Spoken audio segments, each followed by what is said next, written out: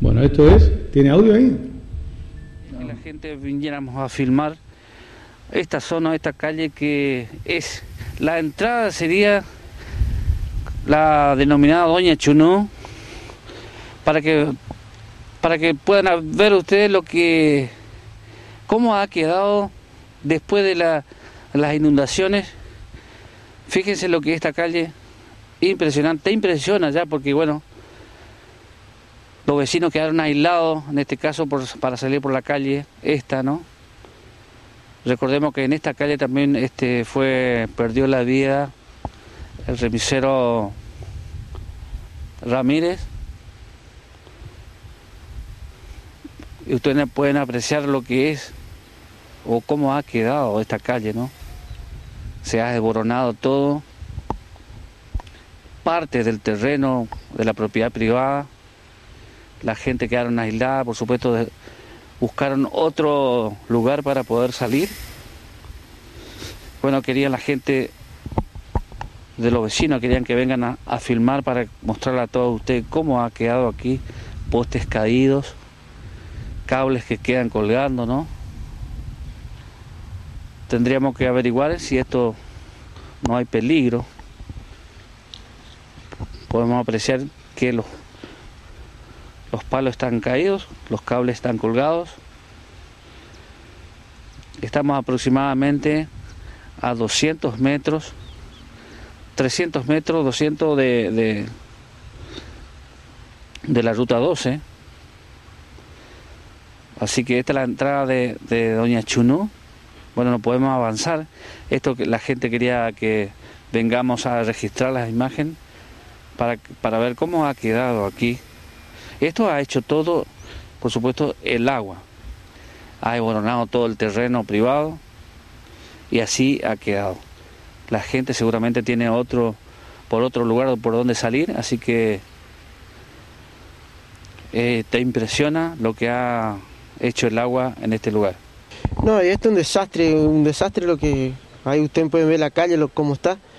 Y bueno, más por, lo, por los vecinos, ¿viste? No tienen por dónde pasar. Y bueno, nosotros a veces le, le damos lugar acá, pero, ¿viste? Tampoco no le podemos dejar pasar mucho por, por los clientes que vienen, los del tema de turismo, ¿viste? Pero bueno, ¿viste?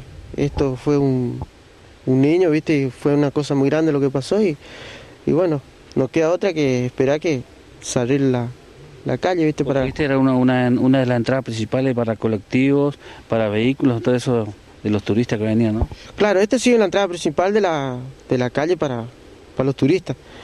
Pero después hay un camino que nos están emprestando, ¿viste? Pero no, no sabemos hasta cuándo nos van a, nos van a dar permiso, ¿viste? Porque eso es prohibido, ¿viste? Bueno, la gente se pone solidaria y en este caso también le da el terreno, pasan por un lugar. En este caso, un Lalo que vive en el fondo también tiene que pasar por otro terreno. Y bueno, también entre todos se dan las manos, ¿no? Y sí, entre todos, acá entre, entre todos vecinos, bueno, nos estamos dando una, una mano y nos llevamos entre todos. Así que bueno, el otro día hicimos un, un puente ahí. Eh, no, no, es increíble lo que pasó. Bueno, ya los patrones ya vieron todo, ya estuvieron aquí. Este, bueno, este, seguramente también con el miedo de que por ahí que caiga parte de la, de la construcción. ¿no? Claro, eso es el miedo de nosotros, claro, sí, sí. Si seguía esto, sí iba a caer todo el paredón, iba a, caer, iba a seguir todo cayendo tierra y redumando. Encima eso es arenoso, es todo tierra todo blanda, eh. claro. no es tierra firme, digamos. Aparentemente el curso del agua ya a partir de ahí ya eh, como que tiene la dirección hacia, hacia el río, ¿no? Sí, esto todo al río, Por todo si al río. Pega contra, contra este lugar sería capaz que se borrara un poco. No, y nosotros acá entre vecinos hicimos la zanja, eh, tuvimos que cavar para, para, para que el agua siga para, Para allá. para allá, para el medio de la calle, porque si no iba a caer esto. Y no, no, impresionante lo que, lo que hizo, usted mismo puede ver ahí. Más por, lo- por los vecinos, ojalá que esto se solucione pronto, porque los vecinos, eh, ustedes ven que no pueden pasar. Nosotros le damos una mano acá, entre todos nos, nos ayudamos, así que bueno, esperemos que solucionen pronto, o que le hagan un puentecito, algo para que la gente pase por ahí. Porque esto va, se va, va para largo. Sí, esto va, no, esto va para rato, encima, viste que no sabés si el clima va a seguir, qué, viste, la lluvia. Bueno, este es el camino optativo que decía recién Chulito, que le dieron lugar para que pasen los vecinos las motos. Este es el lugar que el, el recorrido que hacen por el terreno privado, por supuesto, como recién comentaba Delgado, ¿no? que tiene la única posibilidad de poder pasar es por aquí. Siguen por entre medio de los árboles. Yo creo que esto de la noche sería imposible pasar porque bueno, esto va a ser esto es totalmente una oscuridad. Me contaba fuera de cámara recién delgado. Fíjese acá hay un monte.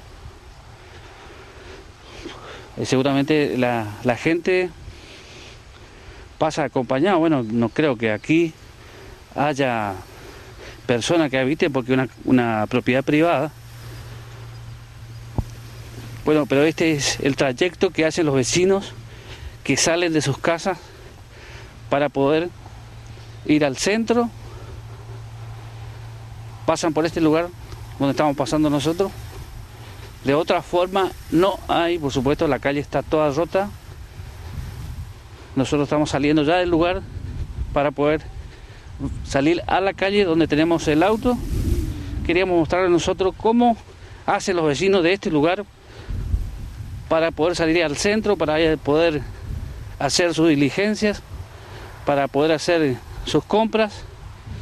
Este es el trayecto que hacen desde ahí donde nos dijo Delgado hasta acá.